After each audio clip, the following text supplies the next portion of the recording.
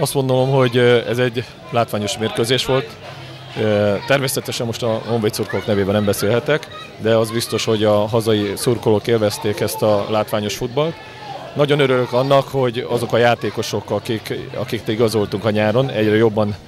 beilleszkednek és, és felveszik azt a ritmust, amit szeretnénk tőlük látni. És azért azt gondolom, hogy egy ilyen mérkőzésen, ahol ilyen jól tudtunk játszani, helyenként még azt mondom, hogy nagyon sok labdaérintéssel, amiben próbáltunk is dominálni, igyekeztünk az ellenfelünk védelme mögé jutni. Ezt ugye eredményezte a gólunk is, eredményezte a kiállítás is, ugye az is ebből adódott, de hát a második gólunk nagyon szép volt.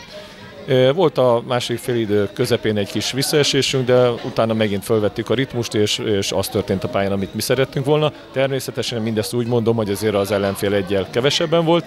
de, de megérdemelten nyertük meg ezt a mérkőzést, és külön öröm számomra, hogy nagyon sok fiatal tudtam betenni egyszer ezen a mérkőzésen, és az azért nem kis dolog, hogy egy Kispest Honvéd ellen ö, ilyen fiatal állományjal tudtunk játszani, és hát külön gratulálok Grünfeld Attilának, aki be tudott végre mutatkozni a felnőtt csapatunkba, Úgyhogy bízom benne, hogy továbbiakban is majd a többi fiatalnak is még több lehetőséget tudok adni, és azt gondolom, hogy ha így tudunk haladni, és így hozzuk a, az eredményeket, akkor egészen szép ősz elé nézhetünk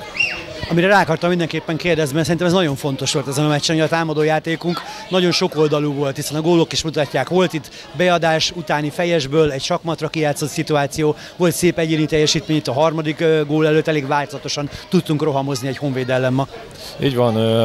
amit megbeszéltünk a héten is, hogy az utolsó harmadban ott, ott több e,